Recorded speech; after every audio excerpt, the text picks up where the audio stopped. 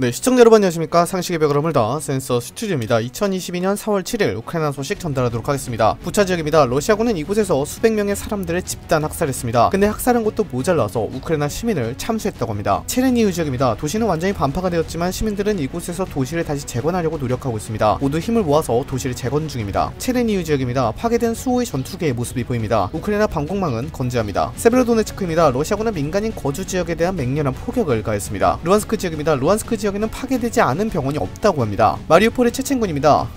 예, 보시는 것과 같이 네, 놀러 온 것이 확실해 보입니다. 전쟁터에서 저렇게 놀고 있습니다. 마리우폴 중심가의 모습입니다. 마리우폴 중심가는 대부분 러시아군에 의해 점령되었습니다. 우크라이나군은 항쟁을 이어나가고 있습니다. 마리우폴 지역입니다. 우크라이나군이 러시아 탱크를 격파하고 있는 모습입니다. 러시아군의 드론 영상입니다. 공습을 통하여 우크라이나군의 차량을 파괴하는 모습입니다. 러시아군들의 자주포입니다. 이들은 지속해서 포격을 가하고 있고 우크라이나군에게 피해를 주고 있습니다. 우크라이나 전쟁으로 인해서 러시아군의 사상자가 늘어나자 러시아 내에서는 반전 분위기가 확산되고 있다고 합니다. 군인들의 전투 거부 사례도 늘고 있습니다. 있습니다. 유럽의회는 러시아 에너지 수입에 대한 즉각적인 금수 조치안을 통과시켰습니다. 핀란드가 공식적으로 나토 가입 절차에 들어가기 시작했습니다. 스위스는 80억 달러, 한화로 9조 7,640억 원 정도의 러시아 자산을 차단했습니다. 우크라이나는 나토에 늦기 전에 무기를 보내달라고 요청했습니다. 나토는 우크라이나에 대한 무기 공급 확대를 위한 논의에 들어갔습니다. 오늘도 발빠른 우크라이나 소식 전달하도록 노력하겠습니다. 감사합니다.